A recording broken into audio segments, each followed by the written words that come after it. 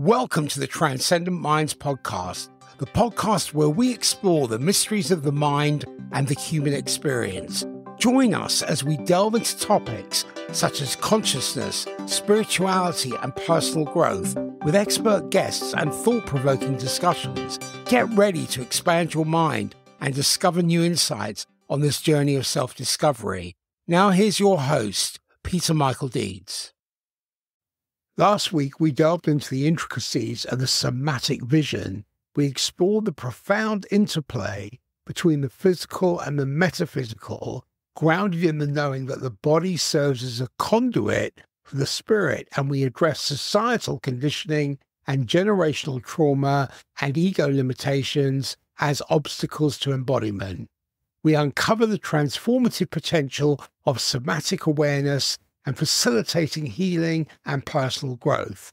Building on this foundation, we're going to continue exploring the journey with Ginny Hoyt, a somatic practitioner, by exploring the awakening of the mind body connection. Ginny, introduce yourself and we'll go from there. Yeah, sure. So I'm a somatic practitioner. I've been practicing for a handful of years now, with twice as much of that time under my belt exploring my own internal landscape and diving into my own personal shadows of work to process.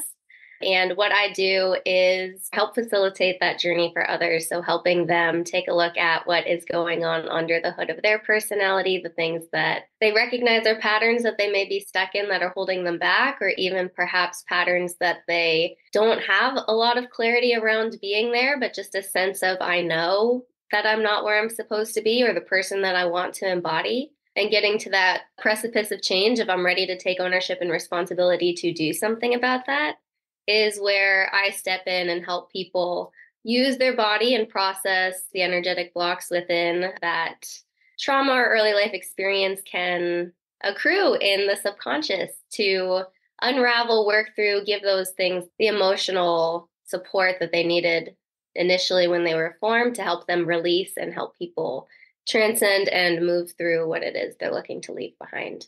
Can you talk about today's episode? Because we're going to be focusing from our conversations on practical techniques for cultivating embodied awareness and diving deeper into the mind body connection. Yeah, so this week it's a little bit more sciencey. I think it's going to be at the beginning, and that is something that can feel a little overwhelming, but is so important. And I promise to keep it very simple and basic. It can be just so important to really understand how parts of the brain function because it can be really difficult to try to work with parts of self if we don't have the knowledge behind why what I'm experiencing is happening. So, having a basic background understanding of what is going on with me physically in this present moment can help create a lot more empathy and release self judgment when we can understand that what we're experiencing, while it may feel unhelpful in the moment or something that we're looking to work through, is actually a very natural process and the body is simply doing exactly what it has evolved to do really helps create more of that space between the things that we've experienced and feeling so identified with those old stories and being able to take that witness perspective that we talked a little bit about in that first episode and have some spaciousness there to be able to watch ourselves moving through life and having more of that objective perspective. Like I said, rather than being so identified with it that we're just sitting in this puddle of self judgment and stuckness because that space isn't there for us to be able to watch ourselves go through. My objective for this episode today is inviting in a little bit more of an understanding of why we do the things that we do and creating some more of that space between our actions and who we actually are to invite in a little bit more of that witness perspective and objectivity. As you alluded to, is to bring the science in because there can be a lot of misidentification and misinformation about what is actually happening to us.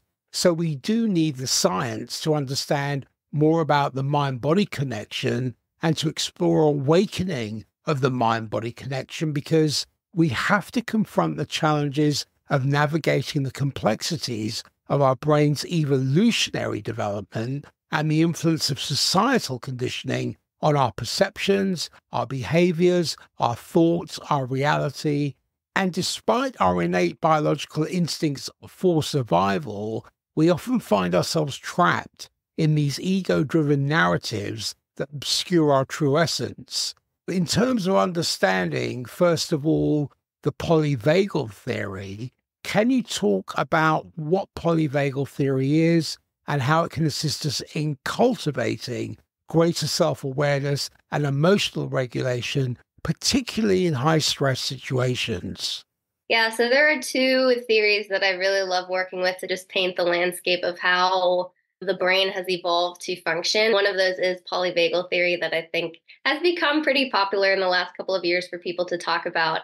It's basically the three different stages that the vagus nerve can experience, which is the nerve that starts at the base of the brain and then hits every major organ on the way down and really makes up the essence of our nervous system because it touches so many major parts of our internal systems. When we are at a state of regulation and we're feeling calm, cool, collected, and everything is fine, that's when we can say that we are in the ventral vagal state. Um, that is also what we can call the parasympathetic state of the nervous system, where we feel like we're fine, we're able to think rationally, we are in the essence of our best self. But when activation does occur, is when we start moving into the sympathetic state of the nervous system, where we start getting a little bit more activated. We're not necessarily acting as our best selves, we're becoming a little bit more reactive, leaning on some patterns of self protection and survival mechanisms that we learned earlier on in life. When pushed even farther is when we dive into the dorsal state for the nervous system, which is complete shutdown. This is survival. This is the time when you're saying things to your partner that you just can't even believe that you're saying because it sounds so unlike you. Understanding is something that your body has evolved to do as a means of self protection. Invite much empathy and something that you touched on a little bit earlier as humans, we have this understanding that we are so evolved past where the places that we've come from and we are different than the rest of the animal kingdom and life on earth like humans are their own very special evolved thing. When in reality we are still connected to our early stages of evolution and these things are driving us so much more than i think most people recognize and appreciate. Seeing these parts of our evolution or parts of our brain development are so old. And when we can learn to see the characteristics of what they look like when they show up, we can see them within ourselves and bring in that own personal evidence that, oh, this is some ancestral stuff, some things that developed within me hundreds of thousands or millions of years ago that are coming online because there's a part of me that feels unsafe. The other theory that I like to use to describe this is called the triune brain theory that I find a little bit easier, I think, for people to remember just because there's a little bit less scientific terms. In the roughest sense, breaks down the brain into three stages. So it overlays really nicely to the polyvagal theory, where the oldest stages of the brain are called the reptilian brain. And this is the part that is rooted in survival and impulse, very much like the dorsal vagal state. Then we have the mammalian brain, which is focused around emotion, social connection, habits, memory. Then there's the primate brain, which is the youngest part, which is the part that humans like to feel so special that we have. This is rational thinking, long term planning, logical, critical decision making. This is what really does set us apart from the rest of the animal kingdom. An analogy I like to use for this and seeing how all these parts of the brain work together is like a parent teaching their child how to drive the car the child is driving the car, but the parent is still present. They're very much there. They are online, but they are somewhere in the background. So the mammalian and the reptilian parts of the brain are still present. They're always scanning to see how things are going, assessing, am I needed here to help redirect if something goes wrong? For the most part, if everything is cool and fine, then the child can drive the car no problem when we come into situations that feel unfamiliar, they might be dangerous, perhaps driving through a city could be an example, or coming across a construction zone where the rules feel a little iffy and we're not totally sure what to do, is when the parent would come in and take over and be like, okay, I have the experience to navigate this situation, so I'm sitting in the driver's seat now and I'm taking control. That relationship is very much how these brain states work together where they are always present, but they do take turns driving the bus in relation to what is going on in our external experience. If we hit a state of activation where it feels necessary for them to jump in and take over, I think understanding that's how we evolved, that there's nothing wrong with that if you do find yourself to be in these different states of being and can explain why we tend to act out in ways that perhaps we don't understand, that we're tapping into older parts of the brain that aren't so concerned with being politically correct or thinking long term into the future, but are very rooted in, like, I just need to survive the situation right now. And I'm going to do, say, whatever it is I feel like is going to give me the best chance to do that. That understanding can create so much more empathy for there's nothing wrong with me in acting this way or perhaps saying things that are destructive, while these aren't habits that we're looking to cultivate, does create a lot of empathy of at least I understand why this is happening. That alone, being able to find these pieces of evidence in your life can really help create that distance of disidentifying with that, but that doesn't necessarily mean that you're a bad person, something's wrong with you. This is my body, how it's evolved to be. What do I get to do to reprogram, reparent these parts to learn that perhaps the situations that are being flagged to my nervous system as dangerous maybe aren't as life threatening and dangerous as I am reacting as if they are, which is a whole big conversation we get, get into eventually about what that looks like and how to do it.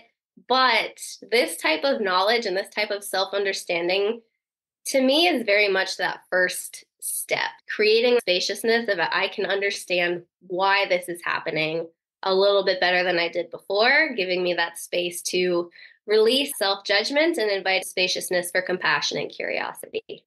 A huge conversation to have in terms of the reaction, the response, and the space in between those two.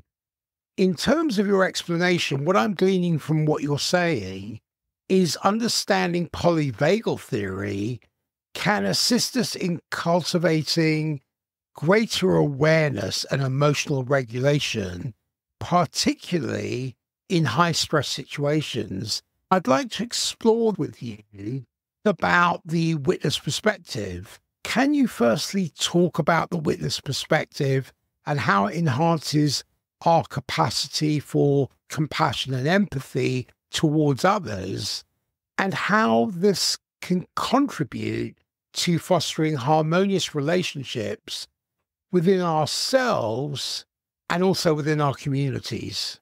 Yeah, absolutely. The witness perspective is something that will naturally start evolving as we integrate this information that I had just shared about developing greater understanding for why we do the things that we do. When we internalize and integrate the information, you can begin watching yourself do certain things or reacting in certain ways. For most people, this does tend to start evolving in hindsight where you may have something very triggering happen to you and you may react just as you have always reacted and perhaps it's not in the most graceful manner but it is what it is. It may not be until perhaps the next day where something clicks in your brain and you do recall this information of oh that was an example of me dropping into a state of being where my body felt very defensive and it was trying to protect myself we can begin connecting some dots around what is it that my nervous system, my body has decided are dangerous situations and how they show up in my personal life. The more we begin practicing and weaving in those personal examples of how this information shows up and pertains to us, the quicker that witness perspective will begin to drop in, where it will start closing in, where maybe it doesn't take you a whole day to look back on and realize, oh, that was an example of this. But it might be a couple hours later, to an hour later, to a few minutes later, until you can see yourself doing it in the moment as the words are coming out of your mouth, as you're feeling the contraction starting to build in your body. You are noticing that it's happening as it's happening that is exactly the place you want to be because that is where reprogramming, reparenting gets to happen, where we can invite in the news stories that we want to weave, spaciousness of analyzing is this really a situation where these types of reactions are necessary? Am I really defending myself for survival right now? Or maybe am I just feeling like someone isn't respecting what I'm saying? Or do I feel like I'm being overpowered by someone else's strong opinion? Or it's not exactly survival, but there is a part of us that feels like, but it might be, it could be, because this is something that I've learned in early life experience caused me some pain. Not to understate it, that early life experience, it really did feel like survival. But as adults, we're carrying these patterns into present day where it does not necessarily anymore mean survival, but we're continuing to play out these patterns. When that witness can come in real present timing is the space that we want to start inviting in that exploration of what is it about right now that I'm feeling is so dangerous. That is a beautiful place for the type of work that I do that comes in where we explore what is it about early life experience that you're painting onto the present moment as being something where these defense systems are feeling required to come online to protect you. Which you can paint a really beautiful map of your subconscious doing this type of work and connecting those dots that invites in so much self exploration and self understanding, and as always, curiosity and compassion for the things that you went through and how they're coloring your perspective of the present moment. Which brings me into my next big point here is a concept that I like to call the lens of perception, or the lens of perspective, is recognizing just how much of the past we use to color the way that we move through the world today which is tremendous once you learn to see it in that way of just, whoa, how much all of us are walking around half blind, bumping into each other because we are constantly projecting experiences from our early life onto whatever's happening now. I tend to find that more often than not, when we run into conflict or resistance with other people, there is very rarely any malicious intent. It's much more likely that it is the bumping into of perceptions that we are bringing to the table that are not matching up to what's actually going on.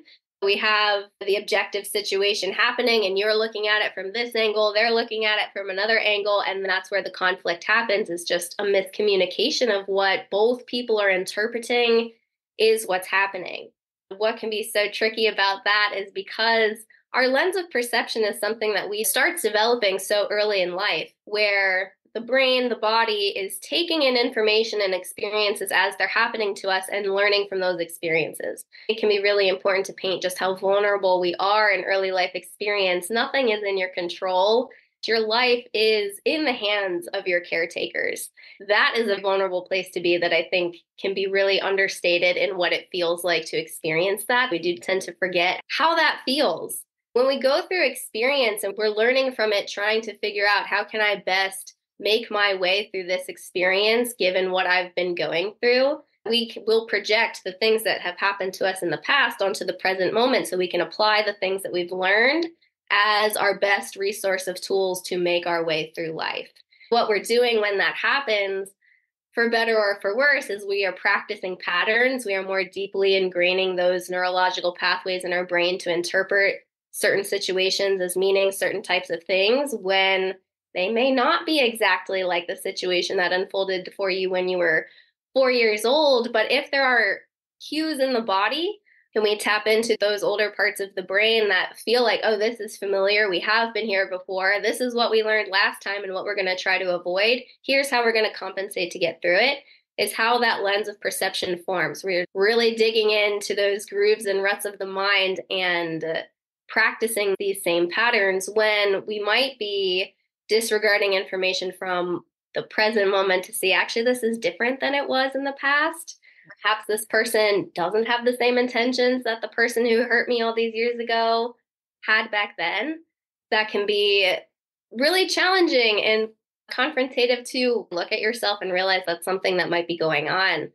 But yeah, taking a look at that and seeing just how much that colors our experience is the huge thing to start to unpack and look at. And uh, I think a big lesson that people can take away once they start doing this from themselves is learning that the way that you are interpreting the world around you says a whole lot more about you and what you've been through and your past experience than it does what's actually happening in this moment Hmm. and using your reactivity, your responses, your tendencies towards other people or stressful situations as a mirror or a reflection for you of what does it say about you that you feel the need to act this way, compensate in this way, say these things, rather than it is a justification of those actions that you know exactly what another person's type of intentions are.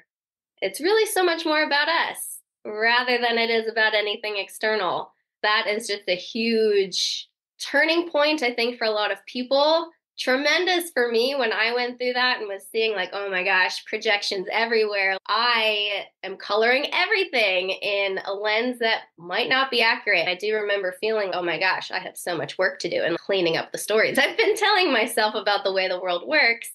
For me, what that looked like was realizing the world is a whole lot less dangerous than my body, my nervous system, these older parts of my being thought that they were, that I was dropping into trigger states so often. Oh my gosh, I was just in a state of chronic stress, to be honest, in the way that I was reacting to things. And I got to learn actually, people aren't as dangerous as I've been painting them out to be. I got to sink into that uh, ventral vagal state more often, that primate state of the brain where I could be more rational, more calm, everything was fine, and I was chilled out more than I was. I think that's something that a lot of people might be able to relate to is this sense of feeling like I have to be hyper vigilant, I have to be on edge in that chronic state of activation or stress because we have learned to label and identify things around us as being dangerous or needing our attention much more than they might actually require. Okay, so just so that I understand this get it clear in my mind, the ventral vagal system, that's the most recently evolved part and promotes social engagement behaviors. When the ventral vagal is engaged, it facilitates calm physiological states. The sympathetic nervous system, this mobilizes the body's fight or flight response by increasing heart rate, breathing rate, and other physiological arousal in response to perceived threats or stressors. Then we have the dorsal vagal system, and this is the most ancient circuit and responds to life threatening situations by promoting freezing and feigning death behaviors through conserving metabolic resources. I feel it's important to understand how the interactions between these three circuits influence our autonomic responses, our emotional experiences, and subsequent social behaviors. Because when the ventral vagal is engaged, we're in an optimal state for social connection. But if threats activate the sympathetic nervous system or the dorsal vagal, then our physiology shifts to more defensive states that can impair our ability to self regulate emotions and connect interpersonally. The key point that you're alluding to is recognizing how these autonomic circuits shape our subjective experiences and behaviors and can provide insight into developing strategies to promote resilience, self regulation, and interpersonal attunement, which essentially is improving our capacity to stay grounded in present bodily awareness rather than being hijacked by past conditioning or future worries. Can you expand on this by talking more about those three circuits so that we have a better understanding because it's important in terms of comprehending how we respond, how the nervous system responds to stressors, and how that influences our emotional experiences and shapes our social behavior. Yeah, diving into those three states of being, I think also invites in conversation around the fight, flight, freeze, fawn response that fits right in with what we referenced to the mobilized energy, the immobilized energy of the polyvagal system. That ventral vagal state is when we are within our window of tolerance, when we feel like everything is okay, we can show up being relaxed and we don't feel this call to be on alert and to be defensive what we're working towards is really learning how to expand that window of tolerance so that we can encompass a wider range of situations and dynamics that feel like I can be okay being here. I don't need to be triggered into these higher states of being of reactivity. The goal of all of this work is expanding that window of tolerance, holding greater capacity for discomfort, and realizing I can still be present with myself and my body as discomfort's happening. It is not always required for me to defend myself as if I'm in a survival situation. When we do feel like we're triggered outside of that window of tolerance, is when we start moving into that next stage is the mobilized energy, is when we drop into that sympathetic um, nervous system state where we might often find that fight flight response where we are either going to get really combative in your face, I'm going to defend myself, or I am out of here, I'm going to do what I need to do to extract myself from the situation. Both of those motions, that energy directive is very external, which is why they call it mobilized. There's a lot of action involved in both of those things, where I'm either coming forward at you or I'm making the motion of leaving that I'm just going to get out of here.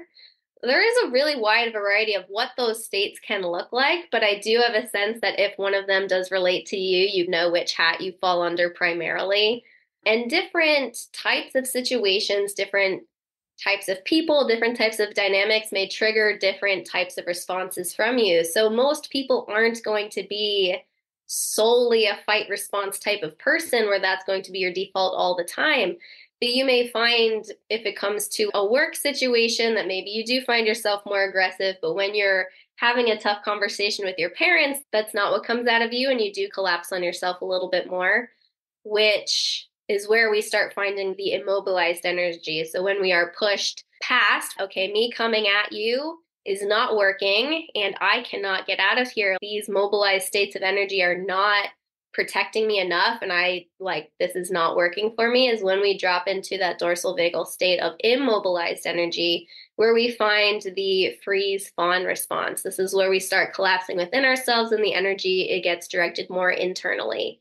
So what that can look like is for that freeze response is very much like I'm hunkering down. I'm going to be like a rock and an immovable object. Like you cannot touch me because I'm not letting anything penetrate my system anymore. The fawn response is a people pleaser mentality of I'm going to just do or say whatever it is I, I think you need to hear so that you're going to leave me alone. So you're totally abandoning your sense of self at least in terms of what you're portraying outwardly, where I might feel incredibly uncomfortable and might want to tell you to back off and get away from me. But if I feel like that's not something that is possible for me to do in this moment, if I feel so overpowered then I'm just going to do or say what it is I think you need to feel so that you're going to feel safe enough to leave me alone.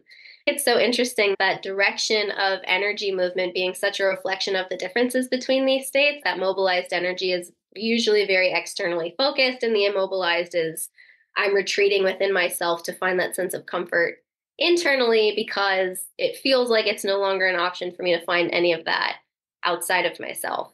I think a lot of people can figure out where they fit in on that system, on that mm. chart of what types of situations pull on those strings for them personally in, in terms of where they fit there. I see this in certain professions like the emergency services because we can observe some interesting contrasting behavioral patterns. If I use the example, let's say, of firefighters, there are those who rush towards the dangerous scenario, so like a fire, to address it directly. But in contrast, others instinctively move away from the threat. So there's this towards versus away dynamic. And we can also see this in the business world as well. Entrepreneurs tend to be towards type, moving forward decisively based on their gut instincts without getting bogged down, even if it means taking risks. But on the other hand, roles like accountants often act as the away voice, urging caution, risk assessment, and pulling back before making major moves. So there's this push pull between towards and away impulses. And that is something we all experience in daily life as well. When faced, as an example, with a problem like a headache, the towards impulse makes us reach for a pill to address it directly, essentially moving towards relief and away from the discomfort. So, this fundamental towards versus away dichotomy underlies many of our instinctive behaviors across different domains, whether it's life threatening emergencies, business decisions, or everyday discomforts. I think if we start to recognize and understand this core dynamic, it can provide valuable insights into our inherent response patterns. So I don't know if that fits in a way with what you're describing. Yeah, I do think that there are like a lot of different archetypal personality types that do fall within these categorical yes. systems that you can see are more present with certain types of people. And yeah, something that I think you pointed to that is really important is that our society does tend to reward people who are a little bit more energetically, externally focused, those fight people. Like in business, it's very provocative and beneficial for the company to be aggressive, to be assertive, to push the boundaries and claim what it is that you want. Of course, those benefits can be really beautiful when they are worked within the gifts of those things, but there is a dark side to them as well that is important to recognize.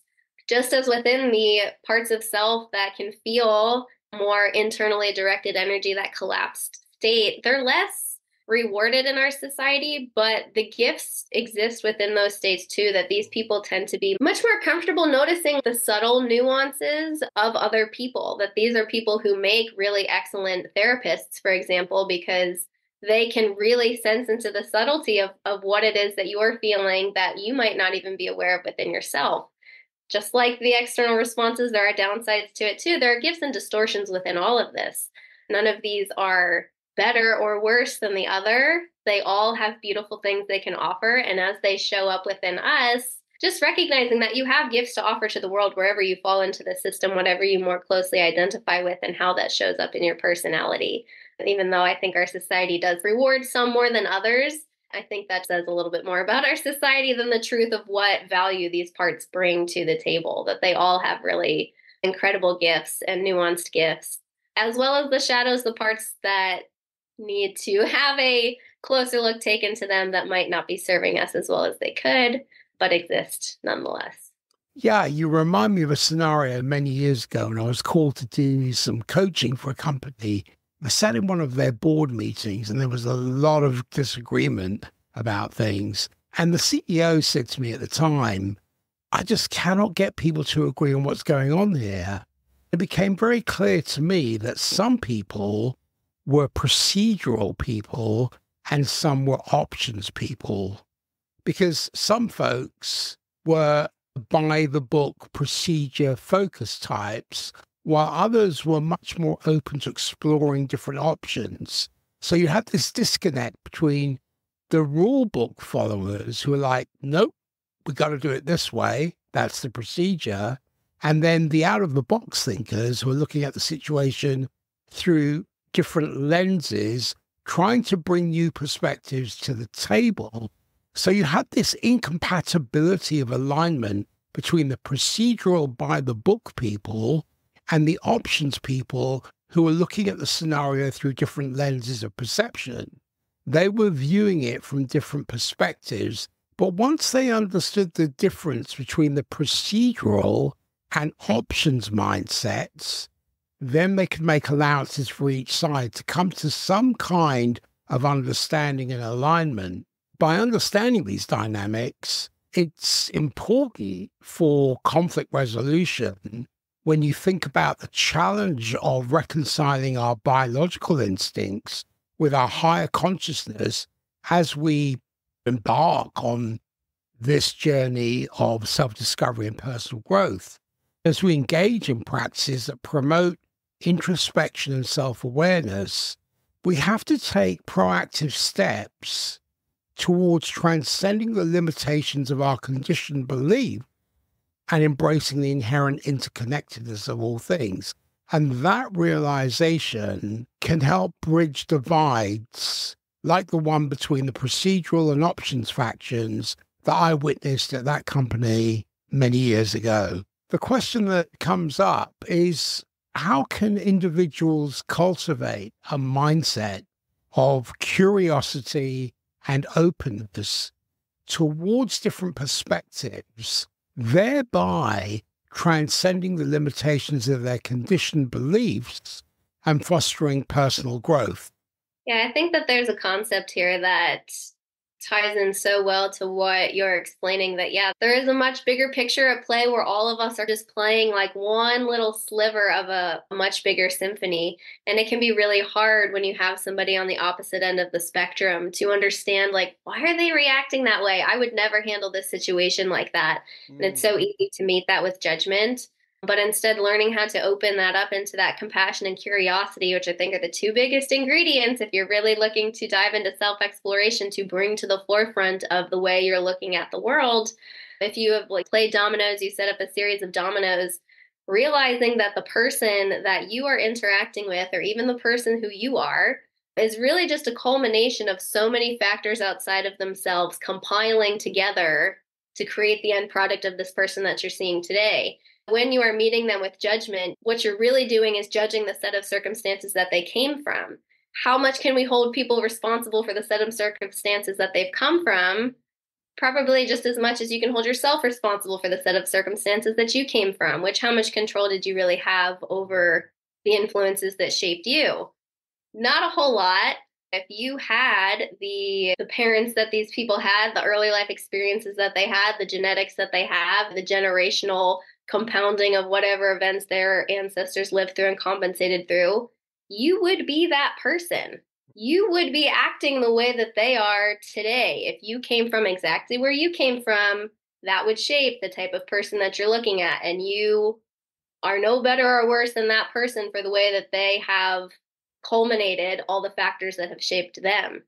While it is important to have rules of what is considered acceptable behavior for society. That's something that we do need to function and learn to work together. When using those types of rules and meeting these people or even yourself with judgment, if that strips you of your empathy for what people have experienced that have shaped them into having the responses that they are today, to me, that only, or at least most, is a detriment to you when you're practicing judging other people, you're also practicing reflecting that upon yourself. And you are the person who you're sitting with more often than you're sitting with any other person that you're interacting with in your life. So we practice how you treat others can be a reflection of how you treat yourself. And when you can have empathy for how much control you didn't have over the factors that influence you today, that it's easier to extend that to other people as well.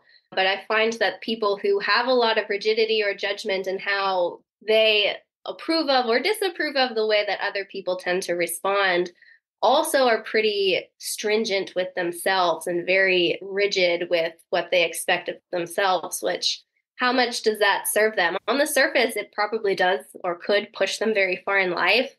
But I would be curious to know how much emotionally do they feel they have the availability to enjoy the rewards that they have reaped for themselves when we have so much constriction and rigidity that you have a really narrow window of tolerance to be able to feel things like joy in your life. So, yeah, I think that recognizing that sense of a domino line that when you're looking at another person is really just a culmination of what they've gone through. And that's simply all it is, instead of it being just like a person who has terrible judgment or is a malicious person or whatever the case may be perceived by you. It's just a person and they would be no different than you if you had lived through what they had been through. Another person passes by just like you. We all have our hopes, aspirations, dreams, and realities. When you strip it down, it's not that different. What comes to mind is introspection, which I see as a pathway to knowledge and self awareness. And these are essential components for personal growth and self discovery because they can offer profound insights into our thoughts, feelings, and behaviors. Let's frame this in terms of cultivating a mindset of curiosity and openness towards differing perspectives, thereby transcending the limitations of our conditioned beliefs and fostering personal growth. What steps can we take to cultivate a mindset of inclusivity and respect towards each other from diverse backgrounds, thereby dismantling barriers to social cohesion and promoting collective well being. I'd say the first step in doing that is integrating that information about the domino lines. That can do a lot in releasing judgment when you're meeting with someone who you just realize that you are not understanding at all. Is recognizing that we are all moving through the world with the same goals in mind. We are all looking to feel accepted, to feel respected, to be loved by those we care about, to feel safe in our environment. And while the way we go about doing that will be very different from each other because of what we had just talked about, early life experiences shapes the paths we practice taking, that is still true that we are all at the end of the day looking for the same thing. When it comes to uh, making progress and being able to see each other a little bit more clearly, a phrase that I like to use to do this is painting truth into another person's mm. experience. You can really hold on to the fact that at the end of the day, they want the same core things that you do. Actually, you and this person have way more in common than perhaps how you're expressing it on the surface may look like.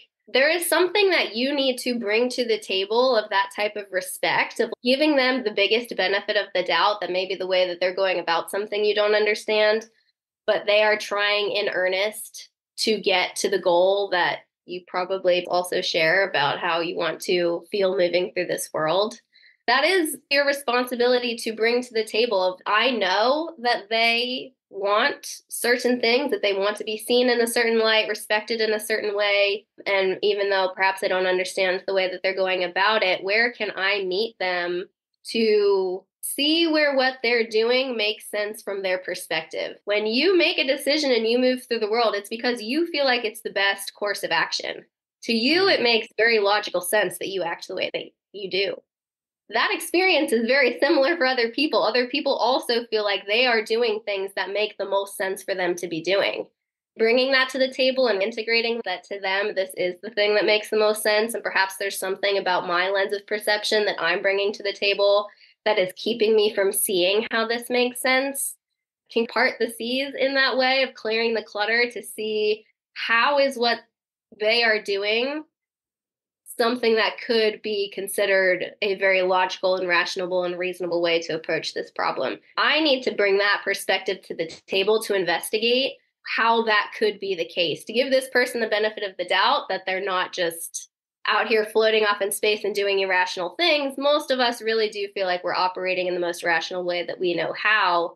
So it's painting truth into their experience. How can I try to find their lens of, of perception, their, their perspective. How can I make their perspective make sense? Bringing that to the table, oh, just does so much. It does so much in helping you take your ego out of the conversation and really step mm-hmm. into their shoes where people get to feel more seen, heard, and respected. And when people feel that way, what happens? They are much more likely to try to do the same for you, to meet you in that same space to work through whatever it is that you guys are missing each other on. And that's a skill that isn't intentionally taught very often. But when somebody meets you in that space, it is easy to meet them back in that space. So it does take a lot of work to be that first person to try to find that positioning but when you do, more often than not, people will be happy to meet you in that space because it feels good to feel respected for the choices that you're making, where someone can say, I see where you did that. And that was really creative or intelligent, or I wouldn't have thought to do it that way. And I see why you chose to approach it in this direction. That feels nice. It feels good. You feel very seen yeah. in your experience. It makes people want to do the same back for you, um, which makes conflict resolution or problem solving much more seamless when you can get both people approaching from the same direction. They're both on the same side. They want to work together rather than chipping away at what each other is bringing to the table. Getting both people on the same side of the problem is a great way to approach that type of conflict resolution, in my opinion. I love that term, painting the truth. It reminds me of taking a virtual paintbrush and painting the truth in. We all make diligent efforts to challenge societal conditioning and expand our consciousness because this is what we're doing here on this podcast. And I know in our previous conversations and conversations off air, we both have experienced moments of profound epiphany and self realization because we do the work of it and we come to understand that true liberation lies in embracing the witness perspective and transcending the confines of ego driven narratives. But we have to recognize the inherent dignity and interconnectedness of all beings because the transformative power, like you were talking about, of compassion and empathy, how can the practice of self compassion and empathy towards others contribute to building more inclusive and supportive communities, particularly in times of adversity? Yeah, I feel like that. it is a big question. I feel like when it comes to infusing this into a sense of community, particularly one that faces adversity, I think honing the blade on these types of skills that we're talking about requires a very delicate touch. If there are factors at play that feel like people have been under strife or working through adversity around. I think requires extra grace and bandwidth to allow people to have the reactions that they're going to have and to practice not taking things personally, seeing it as a reflection of their own internal state of being and their past experiences shaping the way that they're looking at the world is a practice that is much harder to implement easy to say but i think that can be what it comes down to is really integrating that sense of the domino lines feeling some spaciousness with recognizing that everyone is just operating in their lens of perspective and it does not have to be something that I take personally when I feel like their daggers are being directed at me, if that might not be necessarily warranted. But recognizing the way that people treat others is very much a reflection of their inner states, what they've been cultivating within themselves, the way that you seek to look at the world and the judgments you're placing on other people says a lot more about you and your past experiences than it does about any objective truth that exists externally. If you're looking to cultivate a sense of community, I do think it is giving people a lot of grace in what it is that they're bringing to the table and practicing, and not taking things personally. Let them have their experience. And if you can maintain that sense of open, gracious, energetic state that people do feel that. And while it may take time to really integrate and warm up to, if you can emanate being that safe, calm state and steady anchor in the storm, people are drawn to that. There's definitely a sense of co regulation that people enjoy, that there are certain people that you do feel magnetized to. You might not be able to explain why you feel so attracted to these types of people where it just feels good to be around them and maybe you feel more at ease yourself being in that space but i think it's so much of energetic management that i can stay within my power in my own energy and not be affected or shaken or thrown off or provoked into reactivity when you bring your content to the table that i can stay within my power and you can do what you need to do, but I'm going to be okay. When you can mirror that to another person, there is a sense of, oh, this feels really good that this person is not meeting me in this charged state, but there's still relaxed energy here and being able to co regulate within that as being that energetic blueprint of what is possible for what calmness gets to feel like in non reactivity is a really beautiful gift to be able to offer to people that I think everyone can feel but few will be able to consciously recognize what's going on. You have a very nuanced thing that people might not be able to explain why you feel good to be around or why they like you, but they will know that they like you and they will know you feel good to be around. That can just be such a beautiful gift to offer to people because I don't think there are too many people who can be in their power in that way but it is like a candle lighting another candle, right? That if you can be that for them, that is something that can ripple through to so many other people in ways you will probably never be able to see the full extent of how you have affected those around you. It's a beautiful thing you've spoken about because even in your work as a somatic practitioner, we come back to awakening. We come back to the body we come back to when you cultivate the soil for self compassion and empathy, that can bloom and enrich our lives and relationships. We can foster resilience and emotional well being and social connection. When we do that, we can create a more compassionate and empathic world for ourselves and for others. When we realize our journey towards awakening, the mind body connection is not merely a solitary endeavor, it's a collective journey towards healing and wholeness. And if we have the presence of mind to harness our inherent agency and take responsibility for our actions as distinct from reacting, we can become catalysts for constructive change, not only in our lives, but in other people's lives by the ripple effect and in our communities. Through forgiveness, acceptance, and compassion, we can transcend the cycle of judgment and condemnation, paving the way for reconciliation and collective harmony. My question is in terms of how can individuals harness their inherent agency to create meaningful change in their lives and even in the world? And what role does personal accountability play in fostering a sense of being in the body and being in purpose, being in fulfillment?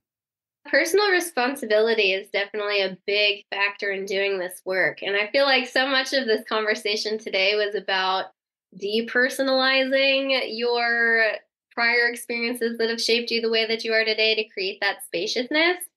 The other side of that coin is while you are not at fault for the factors in your life that shaped you into who you are today, mm-hmm. you are responsible for how they are showing up in your present life. We don't get to offload this back onto our parents or back onto whoever it was. This is your work. This is what is alive within you and the ways that you have compensated for that experience. And again, while that wasn't your fault of the things that you lived through, that is to me your soul's curriculum. That's the reason why we're here is to process these energetic woundings to be able to neutralize them and invite in more beauty and spaciousness and resource as a blueprint like what you're talking about to be that light for other people and create a beautiful world where one day we can be not all operating out of reactivity and pain, but have spaciousness and compassion kind of be more of the default. So, personal responsibility is a huge part in this. For me, at the very beginning of my journey, where I was starting to see this be evident in my own life, that was really hard for me to swallow. Was I felt like I was holding people in my past responsible for things that had happened to me and I wanted them to pay for that or give me apologies or reassurances that I didn't deserve what I went through. While all of that is still possible and can be well and good, isn't really the point. You can do this work and you can transcend pain without any of that, that you don't need other people to be involved.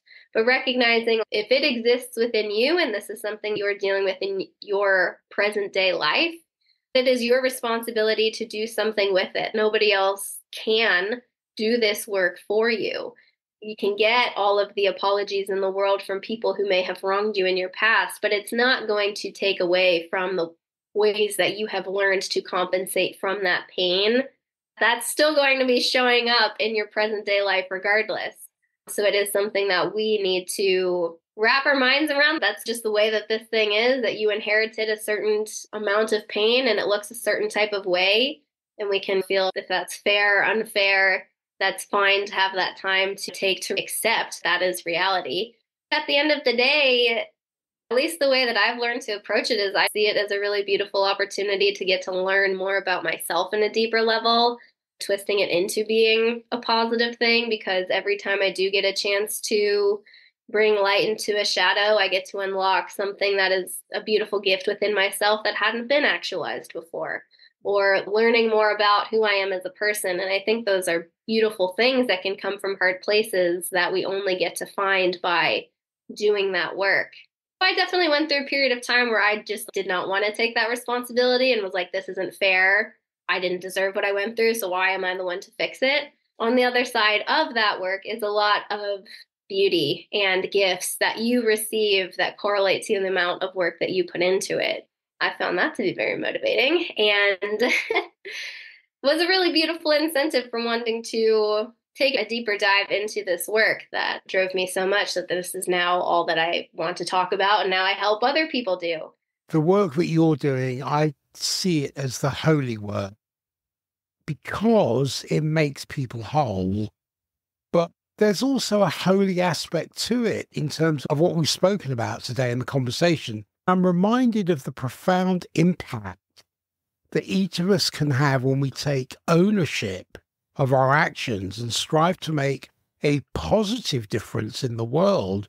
And it's evident from your values that you embrace accountability when you work collaboratively towards common goals, you create meaningful change both individually and I would imagine collectively. Your insights and perspectives have enriched this dialogue in profound ways because it reminds me of the importance of self awareness, compassion, and empowerment in fostering not only personal transformation, but societal transformation. Ginny, your wisdom and passion for creating a more just, compassionate, sustainable world serves as an inspiration to us all. As we continue our respective journeys, I trust we carry forward the lessons learned today and embody the principles of meaningful change and personal responsibility in our thoughts, in our actions, in our words, in our deeds, because then we can create a world where empathy, compassion, and collaboration reign supreme. So I want to thank you for sharing your time and wisdom and insight today. Do you have any parting messages and where can people find you?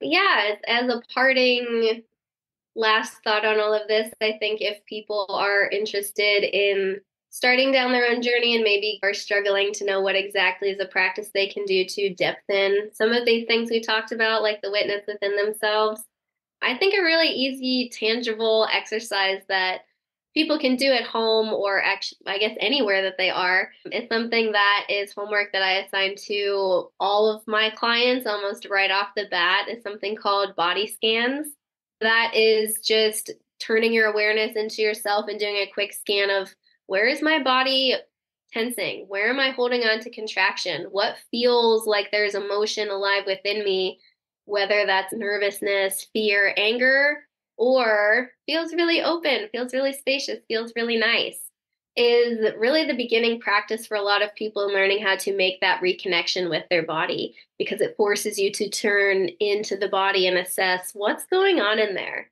It can be really amazing to realize when we exist most of the day in our heads that we are just totally asleep at the wheel to the lively conversation that's going on inside of our body.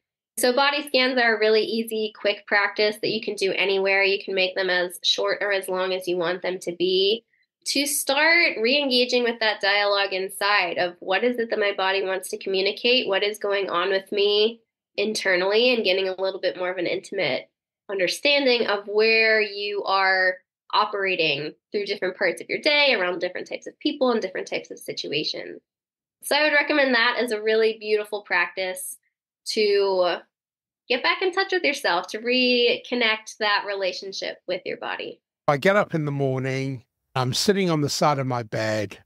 What is the first thing I need to do in terms of a body scan? I personally find it most helpful to close my eyes to just eliminate one source of stimulation that might distract me from what is going on internally. So I can invite you to close your eyes and then from wherever it feels most natural for you, if you want to start at your head or start at your feet, finding a place in your body to start focusing your attention to and bringing some curiosity around what would I color or describe the sensation that I'm experiencing in these parts of my body? For some people, you might be able to label it with an emotion, like oh, I feel fear in my chest.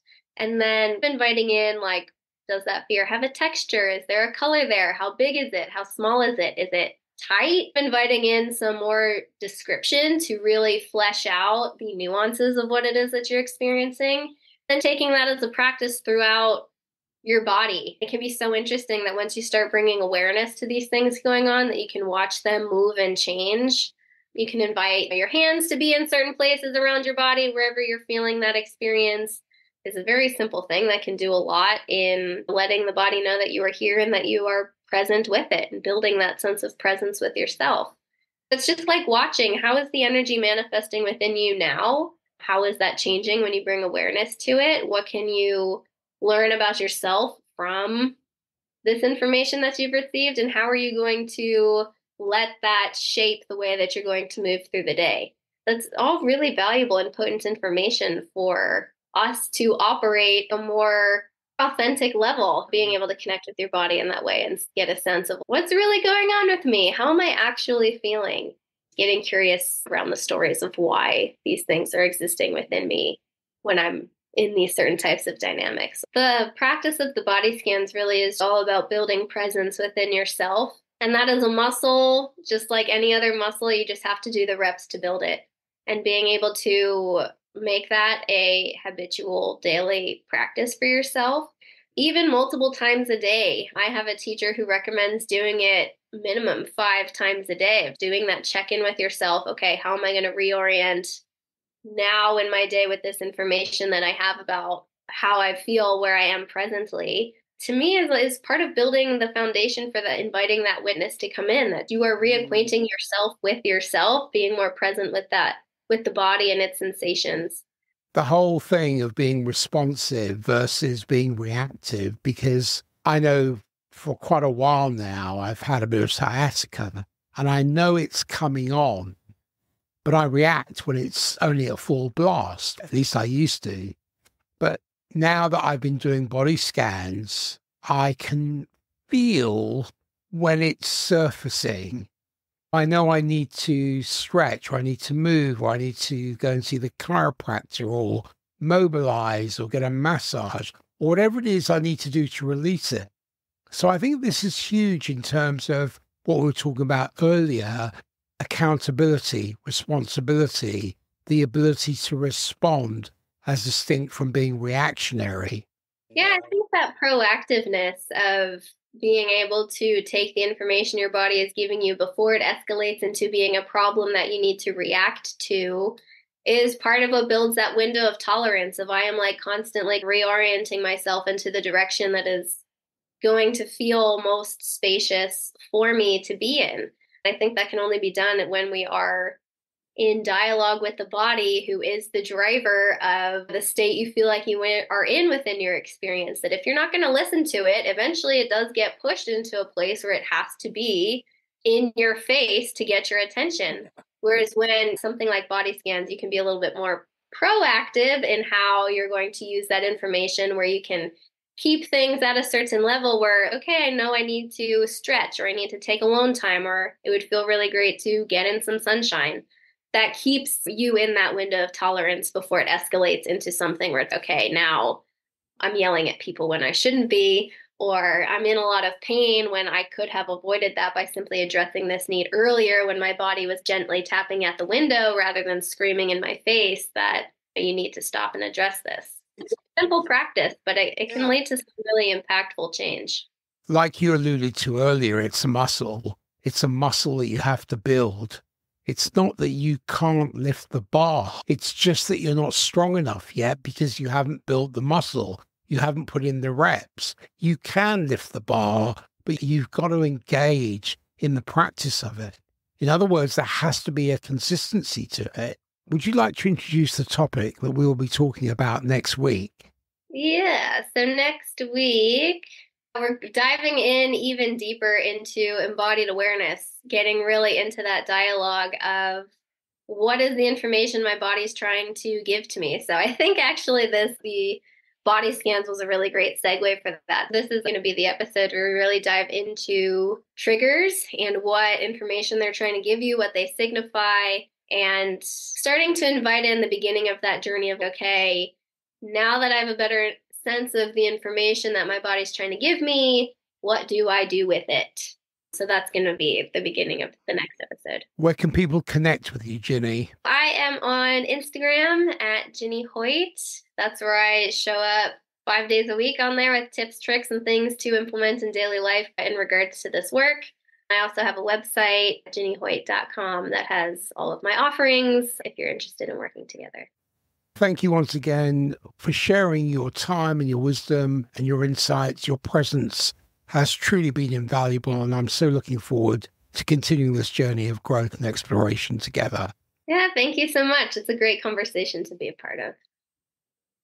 That's it for today's episode of Transcendent Minds. We hope you enjoyed this exploration of the mysteries of the mind and the human experience.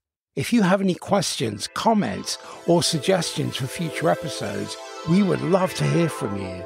Be sure to subscribe on Apple Podcasts. And if you feel inclined, please leave a rating and a review, as this goes a long way. And follow us on social media to stay up to date with the latest episodes. Thanks for tuning in, and until next time, keep transcending your mind.